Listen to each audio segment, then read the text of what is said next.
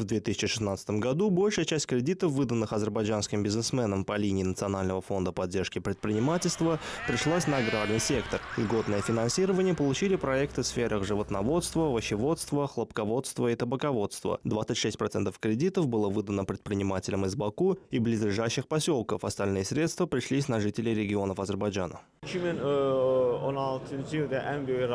Среди наиболее крупных проектов, получивших кредиты в 2016 году, стоит отметить Яламинский агропромышленный парк, первый в своем роде в Азербайджане, созданный по поручению президента Ильхама Алиева. Он оснащен всей необходимой инфраструктурой. В этом году льготные кредиты также были выданы двум агропаркам в Шамкирском районе республики, одному в Хызынском районе, тепличному комплексу в поселке Зыря, площадью 50 гектаров. Сегодня в Азербайджане по поручению главы государства создаются 27 агропарков. Необходимая сумма инвестиций составляет около миллиарда манатов.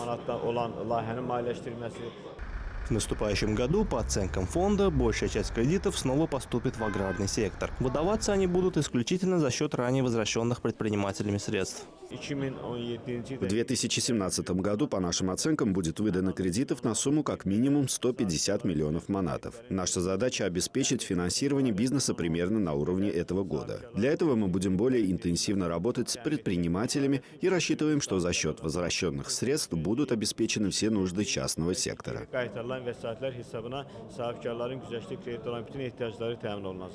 Агентами Национального фонда поддержки предпринимательства выступает более 50 банков и небанковских кредитных организаций. На сегодняшний день азербайджанские бизнесмены получили по линии фонда средства в размере около 2 миллиардов манатов.